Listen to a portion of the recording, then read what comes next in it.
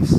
person that I want uh, Enock and, and Percy to connect because uh, in a South African COSAFA Brotherhood together that could match expectations of the supporters of Brighton and uh, make a positive impact so that uh, Zambia and South Africa flags are, are, carried in the best possible way,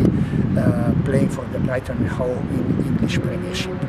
Uh, looking forward uh, to see that his game is rising up. He's one of the five, the most respected young uh, out um, coming